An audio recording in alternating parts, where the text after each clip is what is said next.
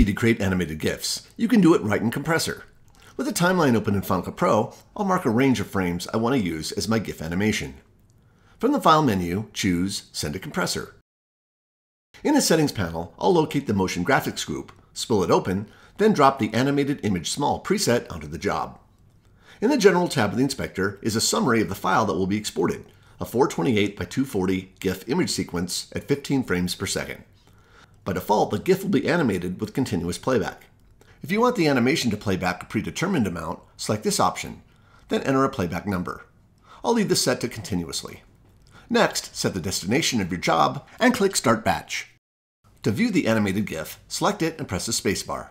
You can also drop it into a web browser to see how it will look when played back on the web.